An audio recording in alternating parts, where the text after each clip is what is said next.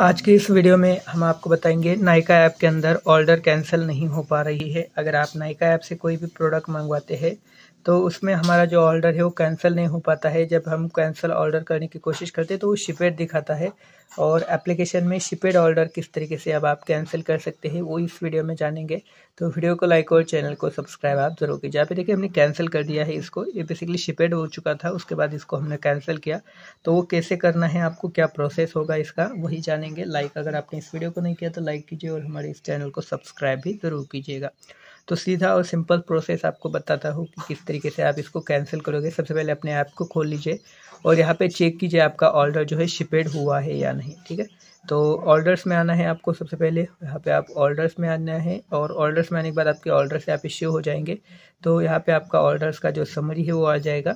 अगर वो ऑर्डर शिपेड हुआ है, ऑर्डर डिटेल्स के ऊपर क्लिक कीजिए। यहाँ पे आपका जो ऑर्डर है वो अगर आपसे जो है शिपेड बता रहा है, देन यहाँ से कैंसलिंग का ऑप्शन जो है हट जाता है। अब इस केस में आपके पास क्या ऑप्शन है कि आपको जब भी डिलीवरी बॉय का कॉल आता है, ठीक है, जैसे आपका पैकेज या पार्सल जो है डिलीवर होने वाला है उस दिन या फिर उससे एक दिन पहले आपको जो है कॉल वगैरह आ जाएगी तो आपको क्या करना है डिलीवरी बॉय से इस ऑर्डर को जो है कैंसिल करवाना है, ठीक है, उसी से ये ऑर्डर जो है कैंसिल हो पाएगा। तो आपसे ओटीपी मांग सकता है या फिर अगर आप ओटीपी नहीं भी देते तो भी वो जो है ऑटोमेटिकली आपका जो ऑर्डर है वो कैंसिल करेगा। और जो ऑर्डर है, जो आपने ऑर्डर चीज़ की थी प्रोडक्ट था, वो डायरेक्टली वापस चला जाएगा। और अगर आपने पेमेंट की है तो आपका जो पेमेंट रिफ़ंड है वो फोर्टी एट आवर्स के अंदर आपके अकाउंट में यहाँ पे जो है शो होना स्टार्ट हो जाएगा। तो आपको अपने अकाउंट में वॉलेट में चले जाकर आप चेक कर सकते हैं, यहाँ पे आपका वो आ जाएगा। अगर आपको वीडियो अच्छी लगती है तो लाइक और चैनल को सब्सक्राइब ज़रूर कीजिएगा।